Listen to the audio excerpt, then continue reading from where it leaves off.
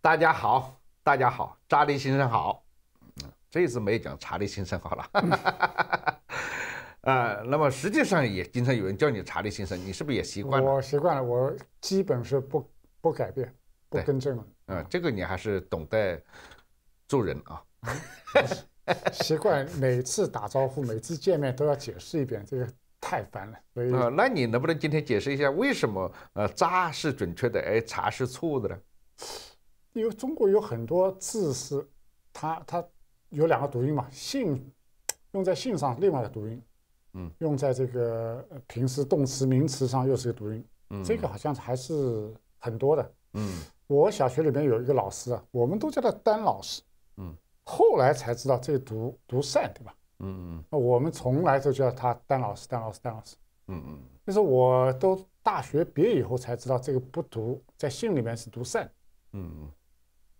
嗯，那这个我现在这个姓也是，大部分人，绝大部分人都读茶，对，啊，有文化的人，你这个有文化的人会读，哎，姓上面应该是啊，解释一下，啊，这我在昨天的一个典礼今天式的节目里面专门讲了念错别字的问题，中国的文人呢，长期值得呃，就是传唤一点真正的思想的机会，所以呢，就要显示学识，而学识最需要讲的就是学牛错错别字。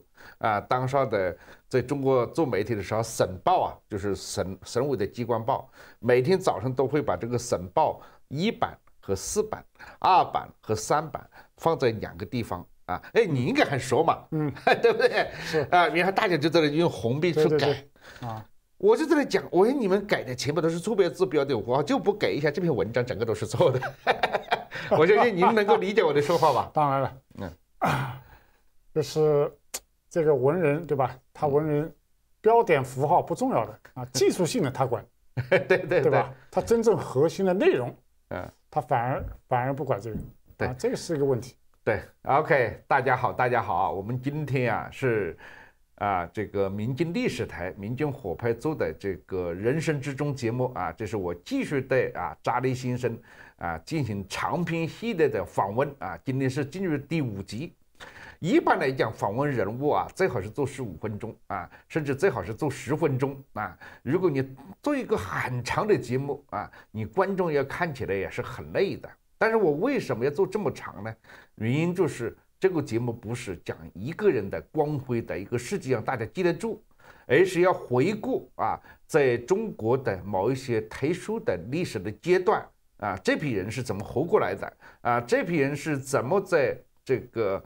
这个人生过程中的故事啊，如果没有一个很好的记叙的话，若干年之后啊，人们就可能就不知道怎么去理解了啊。像我们上一次讲到啊，这个您考上大学，然后就开始有一点讲学习的老师，结果我的好几位朋友啊，老大哥就跟我说：“你告诉查理一下啊，查告诉查理先生一下，他们学校是很有专业水准的。”在我们现在很多大学，包括当时的很多名牌大学，学校没有几个真正式的啊，这个受过博士顺利的。虽然有的教授啊，有有的是确实是教授，但是都是本科就当了教授时间长啊。那么甚至多数的老师是工人兵学生，因为没有师资力量啊，没有这个师资力量，尤其在七七和七八届啊，所以。所以你看看，你这个节目很有共鸣啊，在这一代人里面，甚至这一代人，像您这样还还是在这个战斗在第一线，还在辛勤的工作。那很多在中国大陆的七七级的，很多已经退休了，嗯，啊，已经认为自己是个老头了，对吧？又又想写一些东西，有很多跟我写了很多书啊，我是做出版的嘛，啊，那么好的很多书很难出版，很难出版，因为。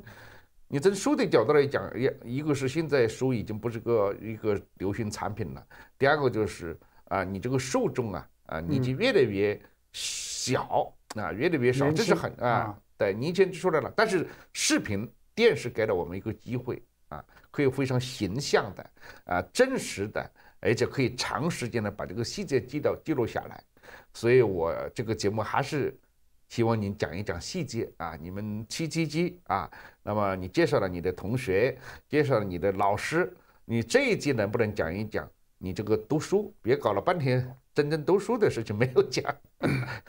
可以啊，这个啊，学校里面进来，然后呢，一共四年嘛，本科啊，对。然后中途呢，跟老师啊之间有很多这个理念上的分歧。那学生毕竟是学生，嗯，不管老师怎么说，他们还是会有好奇心，要去学新东西嘛，嗯。然后我前面讲到这个西方的影响啊，西方影响这个国外的这个很多，呃，现代艺术对我们对我们产生的冲击比现在要大很多，因为现在文化交流了，有了互联网，嗯，啊，看到东西多了嘛。那时候是从来没看过这个抽象艺术，所以要去研究。比如说抽象艺术，你们第一次喝可乐记得吗？第一次听音乐都第一次，都第一次。那现在这个年轻人几乎就是互联网上长大的，他其实是没有国界的。那个时候是把世界跟中国是割裂的，对。啊，门一打开，看到外面的世界完全都是不一样的。对，那我们到了呃学校里面，到了第四年。嗯。刚进学校的时候呢，大家都不了解啊，嗯，老师觉得这帮学生怎么这样的，然后呢，我们一进去，觉得这这么好的学校里面，学生呃老师是这样的啊，有这种，也是一个相互的了解磨合过程，嗯，后来发现老师们就这样啊，学生们就这样，但是学生毕竟是学生，老师就是老师嘛，嗯，那么到了差不多第四年，第四年，其实我们是蛮收敛的，因为老师不断在这讲。毕业啊，毕业，你要能不能毕业，这个权利是我老师手里啊。最后一道关，你们能不能过？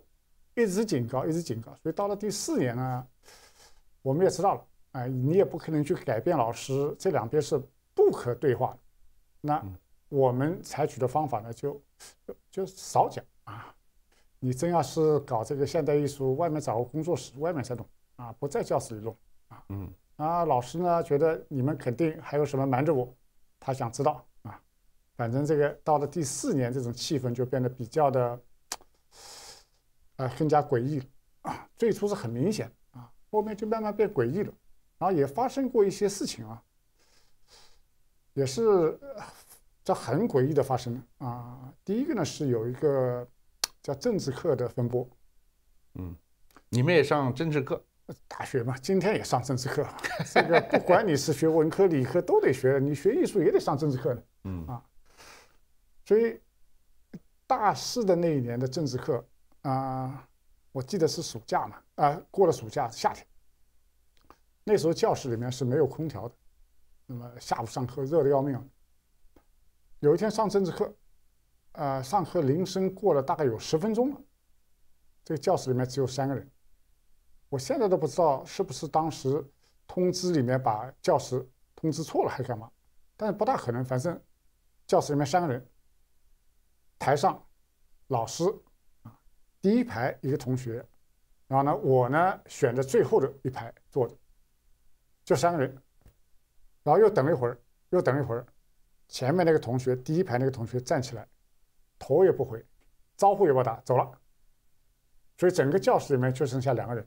前面那个老师和我，然后那个老师就离开讲台，走到我这个位置旁边，两眼这个 泪花花的这个问我：“你们啊为什么不喜欢上我的课？”然后你知道我那天啊，那个那个此时此刻，我告诉你，我心里面真的很得意啊！最好的学生，对吧？所有的学生都都没来啊，唯一一个来了以后。也走了，只剩下老师和我。那我多么好的一个学生，对吧？所以呢，我觉得心里面有很多话啊，一时也讲不讲不完。那所以我跟老师说，这样我明天告诉你。那当天晚上呢，我在寝室里面给这老师写了一封信，写了大概至少有七八页字。第二天一早，我找到他，把信给他。啊，他拿开一看，我靠，这么长一封信啊！说说我要好好的这个读一读，啊，我读一读，然后我来找你。那这老师从来没有第二次再来找过我。然后我现在回忆起来啊，这封信啊，这封信其实我是蛮想表现我是个好的学生，也蛮想帮助这个老师好好的继续上课啊。所以里面大概有一些内容，里面啊有有有相当一段是讲到我们怎么理解马克思主义。我们从小学、中学到大学就讲马克思，对吧？但是我们也知道，马克思呢有它的来源，呃，英国的古典经济学亚当·斯密啊，德国的古典哲学黑格尔、康德，还有这个什么呃空想社会主义什么费尔巴哈啊。那么在那个时候，其实社会比较开放嘛。后来也知道有后马克思主义啊，六十年代、七十年代什么，包括弗洛伊德。都都跟马克思能够挂上钩，还有是还有当时我读过一些书，呃，包括那个叫马尔库塞啊，新马克思主义啊，所以我当时就觉得学校里面光是教马克思啊，好像教了这么多年还这么教，是不是能够换一个方法啊？你教一点这个亚当斯密啊，教点黑格尔啊，教点马尔库塞，把马克思放在一个历史的长河当中，让我们理解。啊，然后还有新东西教给我们，可能你的课会啊更吸引人啊，这是一点。啊，第二点呢是当时讲到马克思的啊非常重要的一个著作《自然辩证法》啊，《自然辩证法》是讲科学啊，讲大自然啊，讲这个进化等等。这里面据说有很多错，因为这本书啊都一百一百年以前了。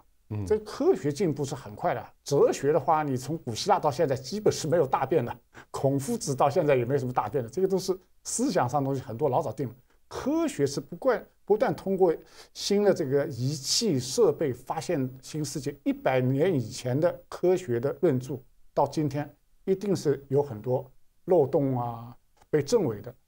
那我们可不可以以这个马克思主义的胸怀啊，把错误东西指出来？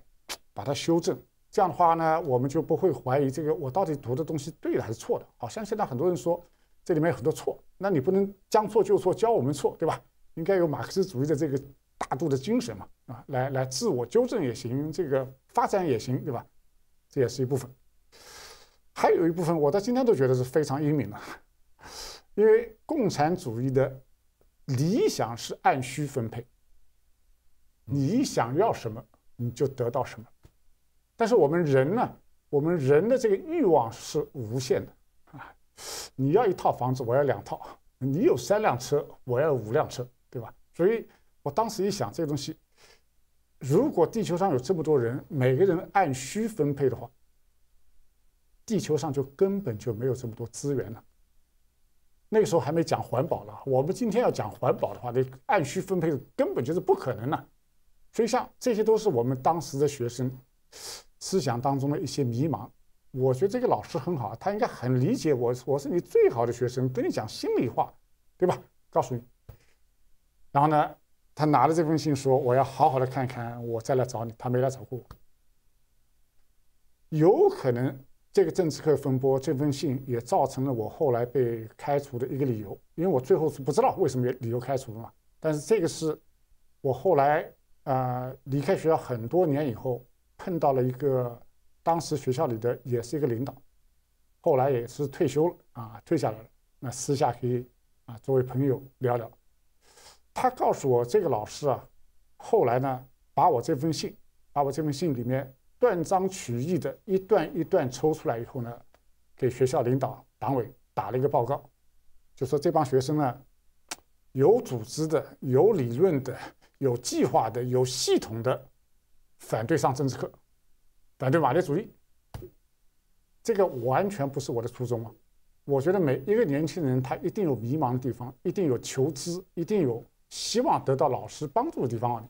所以我很坦诚的跟这个老师说了，而且我我我想当然的以为这个老师本来你来问我，你们为什么不要上我的课啊？我是唯一一个在场的啊，这么忠实于你的人，告诉你的我们的一些思想啊。这么子交流的，最后变成这么一个结果，所以政治课风波也是大事时候。对，这位老师他在美术学院，他是本身是有美术背景吗？没有，他就是纯粹是政治教育系这样的背景出来的。对，就师范大学的政治教育系。应该是吧？我他哪个大学毕业我不知道，反正他就是一个没有美术背景，完全没有美美美术背景，也没有审美能力，只是教政治的一个政治老师。嗯嗯。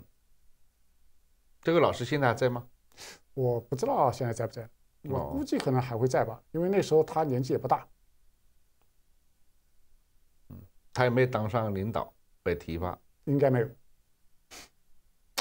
我觉得这种性格大概就决定了吧，尾随学生都不要他当当老师，什么领导怎么会让他再当领导呢？嗯啊，如果你要当领导，一定在学生当中能够啊呼风唤唤雨的这老师，那就很可能上去。那个你上的课都没人听你的，没有人认你当老师的人，怎么会有机会往上爬呢？我觉得这个人很苦逼。嗯嗯，那那后来的这个政治课，你们一是延续到你们毕业吗？政治课，呃，课是这样，后来一直延续到了我们毕业创作，嗯，因为像美术学院跟别的学校也一样，别的学校要毕业的话要毕业论文，对吧？毕业论文的时候，大概别的课程全部停止了，你 focus 在毕业论文。那美术学院呢，就是别的课程所有的课程全部停止了，所有的时间就让你去完成毕业创作，为了最后那个毕业展览。所以大概最后一个学期是没有课程。就是只是所有的时间让你去完成这个毕业创作，嗯嗯嗯，所以这个政治课风波是其中一个蛮有趣的一个插曲，嗯，另外一个插曲呢，就是 我前面讲到过，有一次第第一次看到国外的绘画的原作，就是波士顿美术馆的一次展览嘛，在上海这个 看的这个展览，这个展览结束以后。他大概有一个月、两个月，我忘了多少是波士顿呃美术馆还是波波士顿博物馆？波士顿美术馆。哦，波波士顿。波士顿的 Museum of Fine Art。嗯，早早几年他们那边发生一个很严重的盗窃事件，是不是这个？对，应该就是，应该就是这个。对呀，这个事情您知道吧？我知道。嗯啊，这个是很有名的一个美术馆，它其实藏画藏了很多，它尤其藏了很多这个。美国的呃，十九世纪的这个美国艺术家的作品，因为像比如说像大都会啊什么，他藏了很多欧洲的啊，他当时这个就是土土豪土豪建的美术馆嘛，那么欧洲的美术比较这个值得收藏，所以他们很多从欧洲。波士顿美术馆是藏了很多美国画家，嗯嗯，包括这个美国后来的一些现代派艺术家的作品，嗯嗯，所以这个展览呢。是我们第一次看到国外进来的原作，然后上次我也讲到，最后的七幅画给我们很大的冲击，对吧？然后这个展览结束以后呢，当时那个策展人是波士顿美术馆的一个现代部的负责人，叫 Kenworth，Ken Ken，他呢就被邀请到我们学校来做讲座，所以那天，呃下午的讲座，在这个。呃，演讲大厅哇，这个人山人海。然后我呢稍微晚一点，到这个地方呢，到到地方前面都没位置，我就在大门进门最后一排站在最后听他讲演讲。嗯，那个时候的学校，只要来一个作家或者一个名人演讲，基本上都是啊，都是爆满 啊，爆满啊，嗯。呃，不像哈佛啊或者哥大来一个什么名人演讲，没几个人啊，对啊，一个大厅里面空空 啊，前面几个学生翘着脚，一会儿有人走，一会儿有人走，都今天这个是全部爆满的，对，连这个窗窗外也有人啊，垫着这个砖头，垫着凳子，趴在一个窗上来听讲座，对，那个时代的这种这种记忆真的是非常的珍贵，很难的这种 这种情况已经很难的重新出现了，是。一个是求知欲，还有呢，这个这个国家被关着，对吧？刚刚打开一点点啊，进来出去就要围城嘛。嗯，这个围城围太久了，哎，打开一点缝嘛，啊，这个地方就是大家围在那边。嗯，所以他那天看来做讲座，我在后面听啊。那本来这个展览的绝大部分作品都是古典的啊，那个看来讲说他是现代部的。他整个讲座大概有个两三个小时吧，讲的都是现代艺术作品。这是我第一次听到一个老外过来讲这个现代派的作品。嗯，我们这个老师都是讲这个都是资本主义垃圾嘛，啊，我我是非常希望我们的老师也有这种本领来讲这个资本主义垃圾啊！你们资本主义吃着牛排，喝着牛奶，住着 高房子，欣赏垃圾，对吧？今天一个活生生的老外过来给我们解释这个资本主义垃圾，我靠，我讲的真的，他讲的真的很好。比如说有有，其中有一段讲这个 Jackson Pollock 也在长岛的，住在长岛的，对吧？Jackson Pollock 后来开车，这个喝了酒开车在长岛出车祸死掉的嘛，是美国的啊，他叫行动抽象艺术，嗯，他等于拿了这个油漆罐，对吧？在这个大的帆布上面滴油漆滴出来的啊，然后那个 Ken 当时打出一张，他说这张是。这个 Jackson Pollock 最好的作品，我们一般看 Jackson Pollock 都一样的，拿了个油漆罐嘛，反正大大小小不一样，但基本都是一样的。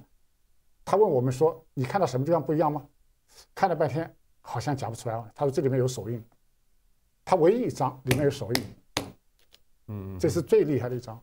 嗯，他有很多张大的、小的，一大堆，反正这个只有一张里面有手印。哇，这张就开始慢慢理解啊。有手有人的痕迹，人已经不存在的，手印还在。这张作品最好的啊，讲了一大堆，哇，好棒啊！然后下面开始提问题。那我我是前面翻译过康定斯基的著作嘛，我下面还有目标，还想知道更多的啊理论。这本书的名字是《论艺术的精神》。对，嗯，我太我太太今天把书带过来。呃。等一下，没关系。第二集我们就是要亮一下。好，嗯。然后前面大家在问问题，我呢在最后一排，最后一排。我这时候呢，很想得到另外一本书，西方现代艺术的理论的书。我有这本书名。那那个看在很远，对吧？前面都在提问，然后英语口语也不好，所以我就写了张条子，嗯，就希望他能不能帮我搞这本书啊。所以我我这个条子就递过去，递过去以后呢，他看了再看了看我条打开看了以后呢，就把它放在口袋里，然后继续回答问题，继续回答问题。后来也没有回答我这本书的问题，大概时间太久了，就是那个讲座就结束了。结束以后嘛，老师啊什么就把他请走了，请到外国专家办公室去了。那我们就散掉了。那天晚上学校的。保卫科的人，保卫科 敲我们寝室门，然后我们都准备睡觉了，然后就把我拖到外面，说你跟那个老外递的什么条子？我说我就问他一本书啊，他们不相信了，反复问我真的是就是问他一本书啊，他们估计我送了什么情报啊，所以呢拼命的引导你到底什么有没有什么，弄了半天。我真的就是一本书啊，然后他们最后也问问不出什么，后来就走了。那我就回来睡觉，嗯，那这个事情也就过去了。过了几个月以后呢，有一天我到传达室拿拿信，那时候哎美院很小的，这个学校的信箱就在传达室后面，对吧？去拿信的时候，传达室老头给给我了一本厚厚的书，哇，这个看真的是看张条子也没跟我沟通，居然。回到美国就把这本书找来了，那个时候都没亚马逊呢，这本书也不是当年 当年出的，他一定是通过什么渠道买到。到处给你找，嗯，对啊，找来以后给我寄过来了，然后呢留了地址，我给他回过信，回了信以后也没有太多来往，他也没给我回信了，所以我在那个会场上给他递了张条子要一本书，他后来真的把我书寄过来了，然后我还给他写封信感谢他，但是也没收到他回音啊。那我出国以后，我后来出国以后是立刻告诉他我出国了，嗯，然后呢，他说你一定要想办法到美国来来见我。然后我那时候在欧洲读书嘛，然后在读书过程当中我也来过美国，我到了美国第一第一件事情就去波士顿看他。哇，你也是一个很重重情情感的。那那当然了啊，我觉得人有时候就是这样，不需要很多语言，不需要共同语言，但是有的人你就记着他。所以呢，我那天呃啊不是，他后来离开波士顿去了那个 Connect，他住在那个康州，嗯，所以我就从我那时候在呃欧洲过来以后去他家康州去看他，然后一见到以后呢，就像老朋友一样的，哇，一个热烈的拥抱，这个热泪盈眶。然后他还邀请我一起吃饭啊，在家里吃饭。然后呢，就讲到他第一次到中国来那一天发生的事情。他说他当天晚上啊，就是那天讲座完了以后，回到酒店以后，公安局来了一堆人，要他交出那张纸条。他说我绝对不会交出纸条。他说我没拿到，不知道，忘了，被我扔了。然后他还讲到这张纸条呢，这件事情呢是。当时的一个翻译向保卫部门通报，那到了他酒店里面问他没有，还进了他房间里边，当大概是没有这个啊，这个翻箱倒柜的搜查，但是多少他的什么拎包翻开来什么看，就是没找到这张纸，所以这张这件事情呢，他一直没有提。也没有跟我来来回写信说这件事情，只是我们两个见面的时候，他才告诉我有这么这么件事情。所以我当时就觉得，这很像电影故事里面这种 美国人啊，有这种英雄主义啊。他去了非洲，去了越南，去了这种贫穷的国家，哎，那边受压抑的一个啊一个部落或这个村落，还有一个一个年轻人，他帮了他的很大的忙，他是。他是一个美国的英雄嘛，所以我跟他后来保持很长时间的啊联系沟通。他前两年去世了，他后来从康州搬到了佛罗里达，后来大概是高血压、什么心脏病这个去世了。所以这也是当时发生过一件很有趣的事情。嗯，就是我问他要了一本书，递了一张条子，但是在不同的人眼里面，这个动作意义不一样。啊，对我来说呢，就是问他要本书，对吧？嗯，他呢也觉得有人要本书。其实你也是很冒失嘛，很大胆嘛，一个陌生人 问了要一本书。没有，前面有很多在问问题啊，因为我在最后啊，我我英文也不好，这个英文的这个书书名作者这名字都这个口语不好嘛，对吧？所以我只能写张条子给他。是。但是别人看到这张条子，嗯，放在口袋里，也没再打开来讲啊，这个什么问题啊？这件事情就变得很神秘了啊，然后就来找，最后是没有找到。我觉得他最后是这张条子肯定是在他什么地方，他就不拿出来。然后当时可能这个公安人员也没有这么严格，要是翻箱倒柜的话，说不定也找出来了。嗯，今天的公安就比那个时候厉害多了，那个时候的公安还是比较小心一点。对，今天放放录像啊，看看什么东西选出来了。啊，这个那时候还是比较原始嘛，所以。新技术，嗯，也能提升啊，这个防范安全啊控制的能力呢，嗯，所以这都是在大四那一年发生的一些一件事情，发生一些事情，嗯，那么要不要开始聊聊看我们这个毕业创作？好啊，毕业创作啊，你的画面啊，我们那个是带观众。啊，你少对着我，对着我的话，你就是只有一米的像。对，好，你的毕业创作是不是有大量的那些作品呢？啊，我因为大部分照片什么都在都在国内啊，不在身边啊，所以今天没有照片。嗯，这些照片都是我们当时在学校里面的活动，这是我们当时举行的一个化妆舞会啊。那个时候的化妆还是蛮时髦的嘛。今天大概都没有啊。那个时间还不对了，那个应该是七八年还是七九年的元旦？嗯，时间写错了。嗯嗯，所以那个时候很时髦。美院的学生跟你们理工科学生不一样。这个，你看陆琪扮演了这个卓别林，然后还有我觉得那后面是潘潘潘一航扮演的什么三 K 三 K 党。嗯，啊，这边一个弹吉他的，就是我们现在市中的一个同学，唐宗先、唐卫格。嗯，他不是在美国吗？对啊，他应该在东部，但是现在他不跟任何人联系，我们也找不到他。嗯，然后他旁边那个哥萨克的一个骑兵，嗯，有胡子的，对啊，嗯，这是女生呢，嗯，陆红啊，陆红扮演了一个哥萨克的骑兵，弄了一个胡子，哇，他很酷啊。旁边那个白俄的啊，血盆大口的一个肥胖的女人，这是我扮演。那你怎么那个时候真的是那么胖吗？没有，里面放了枕头啊，枕头包在身上，然后外面一件衣服，都这些服装都自己做的，嗯所以就扮演，然后从哪儿别人那儿借来的假发嗯啊，然后中间那个拿着大刀那个，呃，是徐静，他也是在他也是在纽约嗯啊，扮演那个日本青年，那个是殷承宗，他是我们班上的老大哥，嗯年纪大了以后就相对比较保守。你看他这个弄了一个白的，头上绷了个绷带，像个日本青年。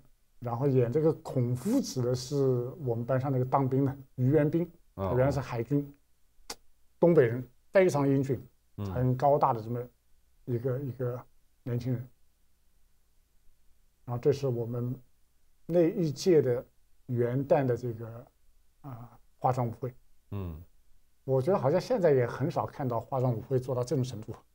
没有这么认真吧？因为大部分就是在外面买一个什么东西随便。是，嗯。好，那我们来来聊这个毕业毕业创作。嗯，好，那毕业创作在美院的话，跟一般理工科大学也一样的，你要跟老师去讨论啊，毕业论文选择一个什么主题。嗯那么我们都是啊，要确定题材，你画什么东西啊？然后那时候特别诡异啊，就是说老师跟你念到了三年，第四年了啊，你们这帮学生最后毕业创作啊，你们想不想毕业？你要毕业，你就老老实实。但其实我们那时候想，就是啊学校里面怎么闹怎么弄都是斗不过这个老师的，对吧？我就想太太平平，能够顺利的毕业啊，走人，离开学校以后，我愿意怎么弄就怎么弄，跟你们没关。但是现在在你的手下呢，我们本来就想太平过去了。但但是我觉得老师的潜意识不是这样，老师觉得你们折腾了三年，第四年你们一定会利用毕业创造这个机会来大闹天宫。估计你们会搞这个现代派、达达派、抽象派、野兽派，会要大闹天宫。所以他在 expect 等待这一天，然后看我们两边怎么斗，最后一定是他要把我们制服的嘛。所以在这种气氛当中，其实我们我们也知道老师一定会要惩罚你，所以我们并不想跟他怎么斗，所以我们希望就说这个能够平静的过去啊。那么老师不断在讲啊，毕业啊，学位啊，你们能不能过这个关？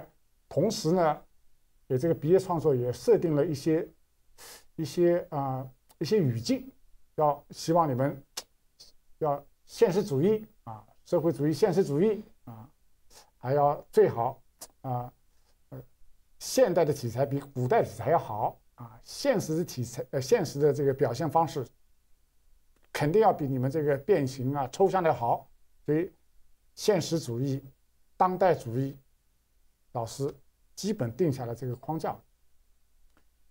那我们每个同学自己在创作，这艺术你要创作，一定要想这个 你想画的东西啊。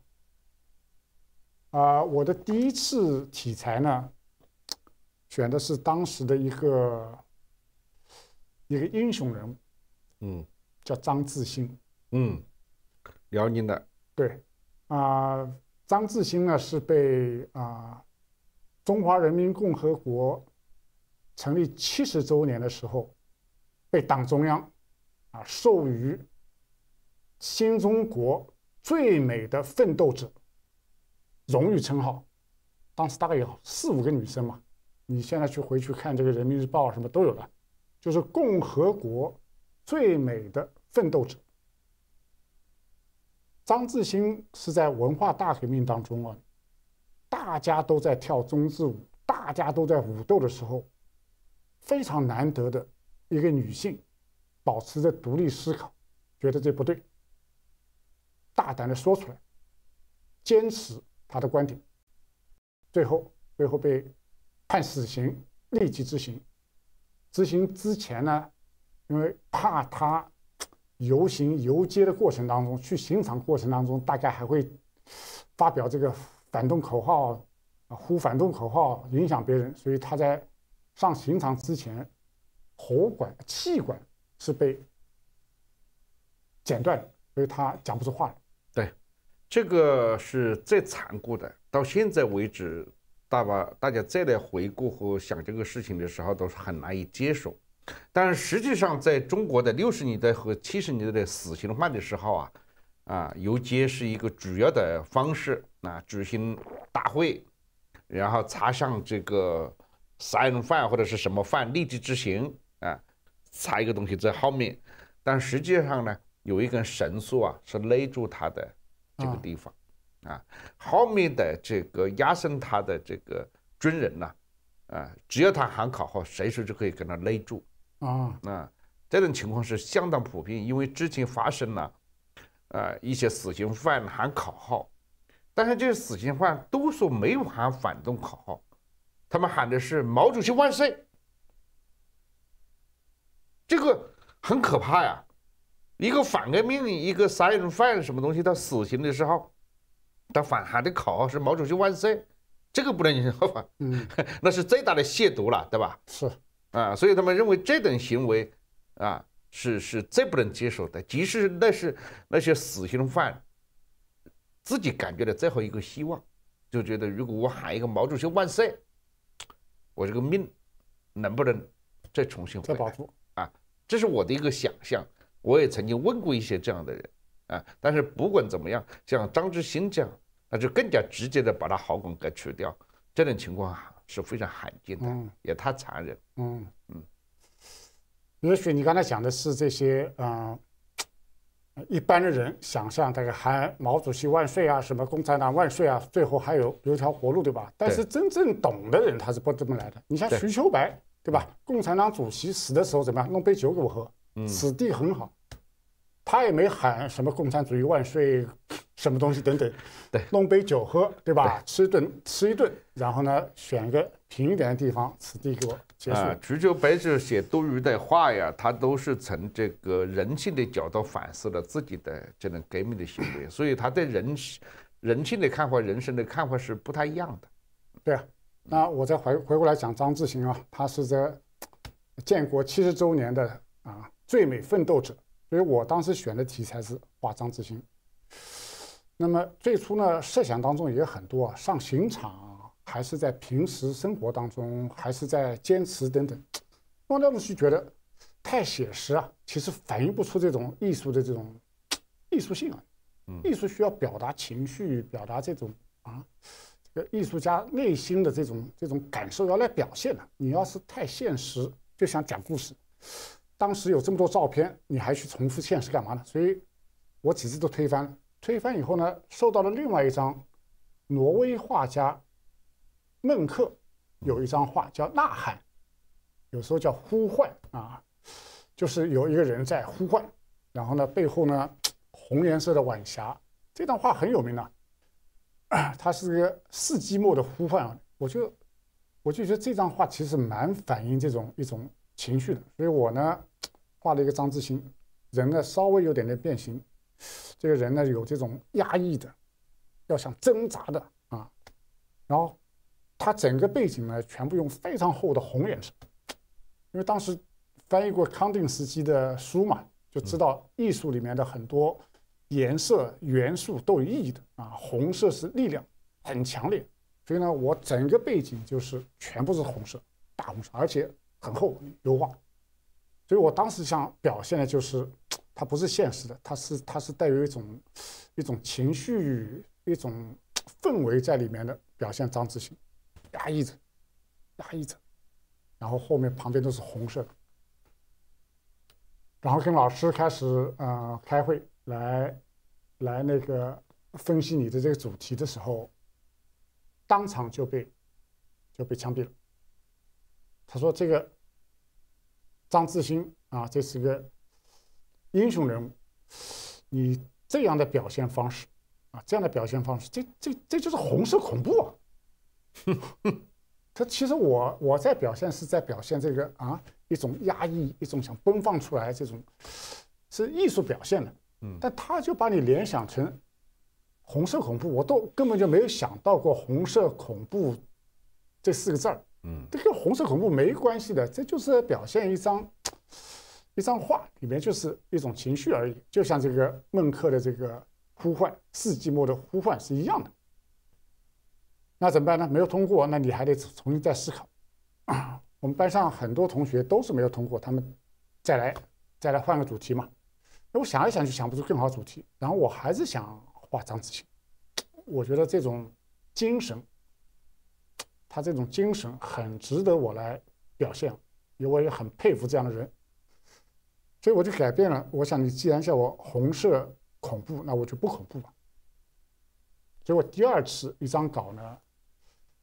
把张志清很写实的画出来，然后呢，画出来跟天，跟天上的云，几乎几乎连在了一起了，非常淡的、清淡的，几乎是白颜色的，像一个像个影子一样在这个云上面。我想表达的是说，很纯粹的啊，洁白的生命啊，很崇高的，永远存在的，跟蓝天、跟白云永远在一起。这么一种东西啊，好，第二次又来审稿，确定你们这个主题是不能通过，对吧？那这次跟前面不一样，前上一次是当场就枪毙的红色恐怖，那这次呢，把我这样画放了最中间，很多同学的话放最中间，来了很多老师，站来站去，看来看去，交头接耳，还有耳语，弄了半天又回过来说：“你以为我看不出你在想什么吗？”我以为他看出我在想什么。他说：“你上次来红色恐怖，这次来白色恐怖。”他要跟你作对也没办法，世界上总会有这帮人啊，他们就相信啊，相信有这种阴谋论，对吧？你原来来一个红色恐怖，对吧？被我看出来了，现在来一个白色的白色恐怖，我告诉你，我真的是没想到后面这个东西。跟我跟我的思想完全不一样的。我本来在想，哎呀，红色恐怖，红色不要，我也可以换，但是要换一个东西我喜欢，所以我就改变了这种前面这张压抑啊、爆发，而且把它变成啊挺崇高的、挺升华，升到天上去了。人和云又是很洁白的啊，画面挺漂亮的，比较起来是比第一张要好很多啊。结果他们反复在里边看，交头接耳讨论，最后说明白了。你就想我们走对，哈，你这次来白色恐怖不行，又否定掉，所以第二次又否定，那怎么办呢？那只能再想啊，你还有时间，你你总归得通过这个毕业创作能够毕业嘛。那我后来就要求说，哎，我我还要找点时间去体验生活，就当时在讲四个现代化，对吧？四个现代化里面最重要的是科技现代化。所以呢，我就选择到了南京化工厂。南京化工厂是当时是一个中国比较大的一个很现代化的先进的一个化工厂。我到那儿体验生活，所以呢，我到南京化工厂体验了大概两个礼拜吧，体验生活，去看这个工厂，看他们这个里边的这个科研人员怎么在做研发。然后回来以后呢，就确定一个主题，就是科科研人员啊，这个为了四个现代化。做科学实验，然后这个主题被通过了，因为符合当时的啊主旋律啊，四个现代化，所有的政治要素。对，四个现代化里面最重要的科技现代化，对吧？所以呢，虽然构图啊这个情节都还没出来，但是这个主题通过了。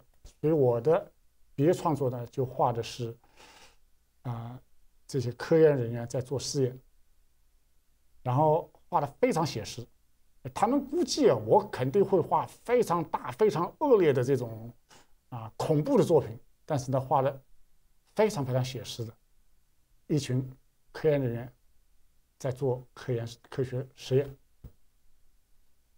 然后呢，人其实这个画的本身呢，啊，因为非常写实，而且非常死板，没有生命。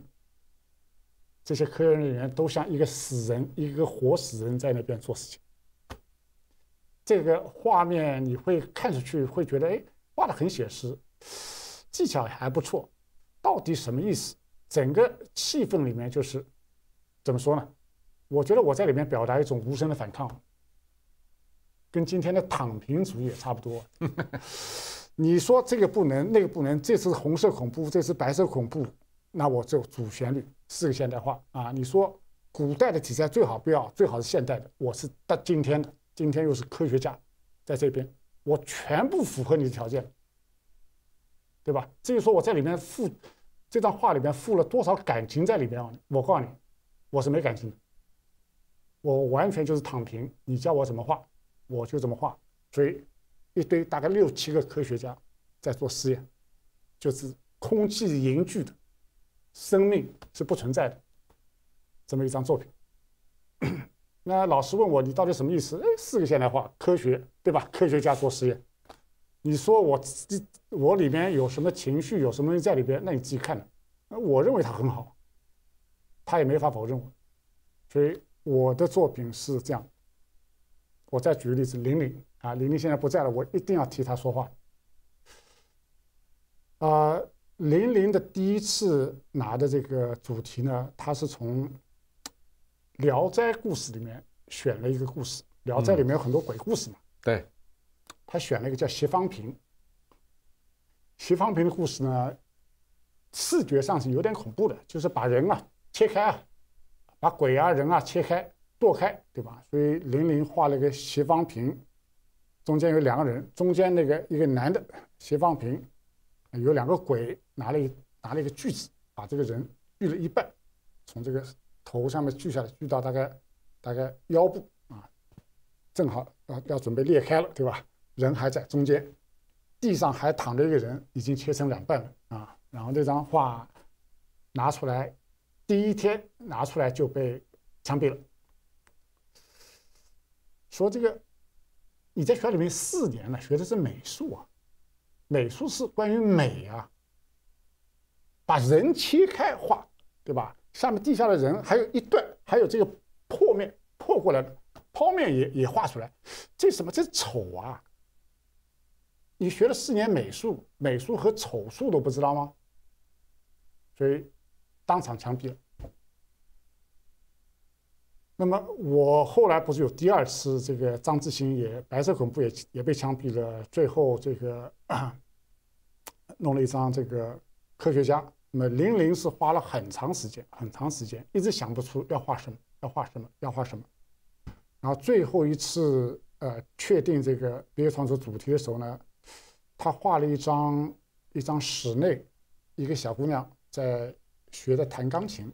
我看过了，我 你看过这张画对吧？对，很可爱的张画。一个窗户，窗户外面天上蓝天白云，这个有有杨柳树、鲜花，还有小鸟在飞。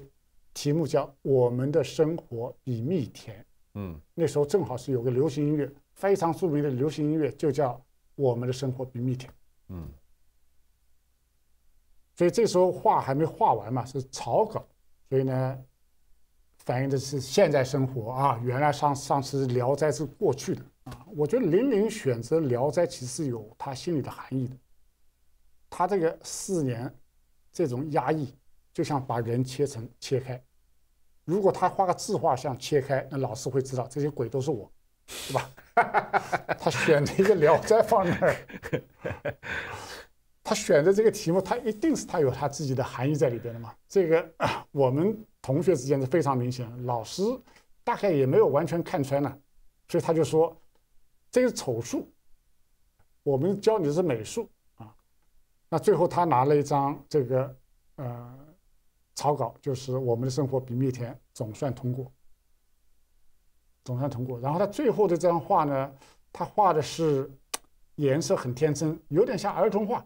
其实他那时候他挺喜欢，那时候挺喜欢梵高的，他要从这种啊复杂的思想当中啊升华出来，像梵高这样很天真，对吧？梵高画了很多邮递员呐，什么他的保姆啊，什么这些啊木木匠啊。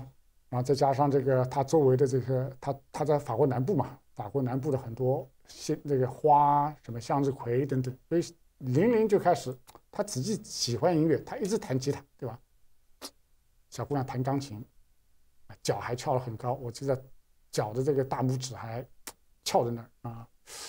这个整个画风呢也是挺很天真啊，没有像梵高那么重，但是很天真，有点儿童画色彩啊，颜色也是。蓝的、红的非常明确的，那挺美好一张画。他们觉得你是故意的，我们你的功底这么好，你本来应该画非常非常写实的，怎么会画成这样？所以你不管怎么做，学校里面都不满意，老师都不满意，因为他在他在他在期望你来跟他作对。嗯，哎，是那个时候的学生，啊，中间的矛盾呢，远远不如这个老师和学生之间的矛盾。那个矛盾到底是怎么产生的？呃，到底是人性里面哪一部分啊？尤其是在那一个变革的时代，大家都沉默的一个期待的变革的时代。但是那个时候的老师，呃，还有政治辅导员，还有这个这个这些人的角色是很奇异的，很奇异。你觉得，如果你之后你再回想这个事情，你觉得这是人性的哪一部分？啊？我觉得人在不同的体系里面都会不变成不同的人，嗯，然后这这些人在一个扭曲的体系里面长期这么待下去，他就会变成这样人。因为我我我现在做创业投资嘛，就是研究人呢，啊，主要在投资人，所以有时候也会找一些心理学家，跟他们学习学习人人是怎么变的啊。比如说有一个理论是叫。呃，犯人理论嘛，嗯，好像当时的一个实验是哥伦比亚大学，嗯，就选了两组人，一种呢是犯人，监狱里的犯人啊，一种呢是这个监狱里的这个，就是这个看管啊，所以大家这两组人呢，大家就是努力的去角色扮演，所以比如说我要扮演这个犯人，你要扮演这个这个狱警。所以你要变得很残酷，那我也会反抗，我也反抗。当时大概这个实验大概是有有几十个人，只有一个人逃跑。一个礼拜以后，一个礼拜以后，他这个犯人本来都是同学啊，认识的人，就变成两拨人，然后一拨人就是变成了犯人，一拨人就是变成了狱警。他是非常著名的一个心理学道理，所以我觉得一样的。因为那帮人他就想当狱警，所以他就想把你们当犯人。然后你不想当犯人，嗯，之间就有矛盾了。你要不然老老实实，他叫你画现实主义就画现实主义，对吧？他叫你干嘛就干嘛，那那就一点都没问题的。但是但是你们这些犯人犯人，你是犯人啊，你怎么还这样？嗯，当然在这个教室的环境里面，不像这个做这个实验里面是明确告诉你你是这个。这狱警，我是犯人。然后你反过来想啊，当时这个还有其他的美术学院，比如四川美术学院，啊，他们出来了很多作品，我们现在觉得很搞笑的。呃，罗中立的这个大父亲，父亲是吧？你这是美国现代照照相现实主义抄来的一个技术，哎，又是套在一个老农身上。然后他的画呢，到处被被被出版啊，那。看画的人是不懂美术史，也不懂美术怎么发展，他在里面拼拼命的寻找这个含义。哇，这个指甲这么长，身上都是这个，脸上都是这个啊皱纹啊，这个啊这个啊老百姓这种沧桑全来了。他在里面寻找这个没有美感的。你像还有这个什么高考，有一张高晓华谁的一张高考，对吧？哇，大家的高考，哎，有这么多照片了。绘画的功能早就从写实记录历史已经被相机取代了，为什么还要去画这种画呢？那现在为什么有资本主义垃圾？